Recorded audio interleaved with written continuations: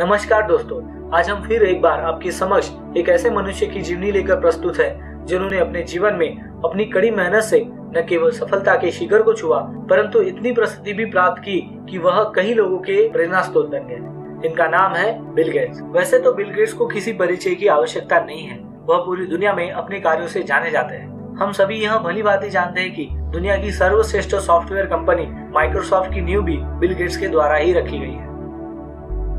Bill Gates का पूरा नाम विलियम हेनरी गेट्स है। इनका जन्म 28 अक्टूबर 1955 को वॉशिंगटन के सिएटल में हुआ। इनके परिवार में इनके अतिरिक्त चार और सदस्य थे। इनके पिता विलियम एच गेट्स, जो कि एक मशहूर वकील थे।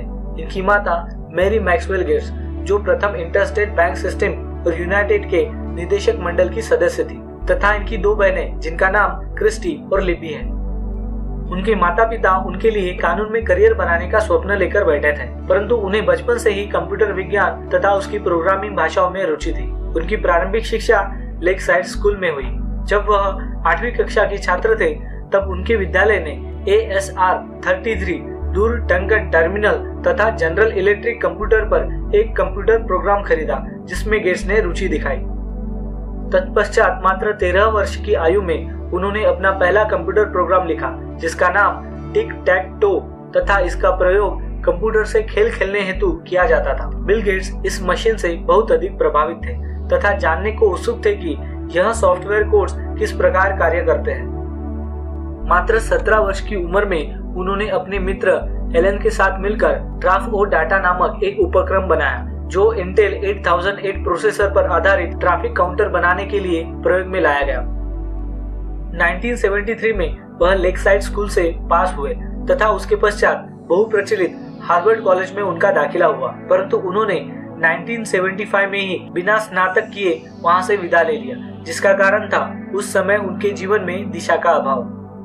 उसके पश्चात उन्होंने इंटेल 8080 चिप बनाया, तथा यह उस समय का पर्सनल कंप्यूटर के अंदर चलने वाला सबसे वहन योग्य चिप था, जिसके पश्चात बिल गेट्स को यह एहसास हुआ कि समय द्वारा दिया गया यह सबसे उत्तम अवसर है, जब उन्हें अपनी स्वयं की कंपनी का आरंभ करना चाहिए। M I T S micro instrumentation and telemetry systems जिन्होंने एक माइक्रो कंप्यूटर का निर्माण किया था। उन्होंने गेट्स को एक प्रदर्शनी में उपस्थित होने की सहमति दी। तथा गेट्स ने उनके लिए अल्टेयर इमुलेटर निर्मित किया, जो मिनी कंप्यूटर और बाद में इंटरप्रेटर में सक्रिय रूप से कार्य करने लगा। इसके बाद बिल गेट्स व उनके साथी को एमआईटीएस के अल्बुकर स्थित कार्यालय में काम करने की अनुमति दी गई।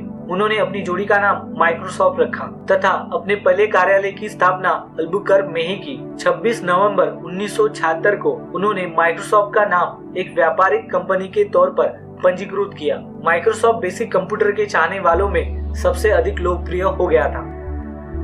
1976 में ही माइक्रोसॉफ्ट एमआईटीएस से पूर्णतः स्वतंत्र हो गया।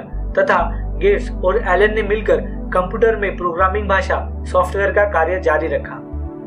इसके बाद माइक्रोसॉफ्ट ने अल्बुकर्क में अपना कार्यालय बंद कर बेले वॉशिंगटन में अपना नया कार्यालय खोला। माइक्रोसॉफ्ट ने उन्नति की ओर बढ़ते हुए प्रारंभिक वर्षों में बहुत मेहनत और लगन से कार्य किया। गेट्स भी व्यावसायिक विवरण पर भी ध्यान देते थे। कोड लिखने का कार्य भी करते थे, तथा अन्य कर्मचारियों द्वारा लिखे गए व जारी किए गए कोड की प्रत्येक पंक्ति की समीक्षा भी वह स्वयं ही करते थे। इसके बाद जानी मानी कंपनी आईबीएम ने माइक्रोसॉफ्ट के साथ काम करने में रुचि दिखाई। उन्होंने माइक्रोसॉफ्ट से अपने पर्सनल कंप्यूटर के लिए बेसिक इंटरप्रेटर बनाने का अनुरोध किया। कई कठिनाइयों से निकलने के बाद गेट्स ने सीटेल कंप्यूटर प्रोडक्ट्स के साथ एक समझौता किया। जिसके बाद एकीकृत लाइसेंसिंग एजेंट और बाद में 86 डॉस के वह पूर्ण आधिकारिक बन गए और बाद में उन्होंने इसे आईबीएम को 80,000 डॉलर के शुल्क पर पीसी डॉस के नाम से उपलब्ध कराया। इसके पश्चात माइक्रोसॉफ्ट का उद्योग जगत में बहुत नाम हुआ।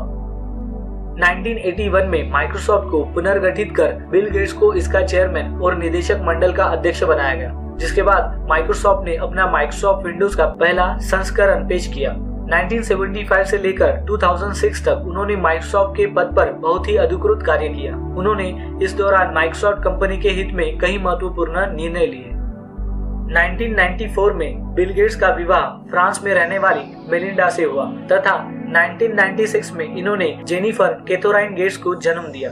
इसके बाद मेलिंडा तथा बिल गेट्स के दो और बच्चे हुए, जिनके नाम रोरी जॉन गेट्स तथा फोइबे अदेले गेट्स है। वर्तमान में बिल गेट्स अपने परिवार के साथ वॉशिंगटन स्थित मेडिना में उपस्थित अपने सुंदर घर में रहते हैं, जिसकी कीमत 1250 लाख डॉलर है।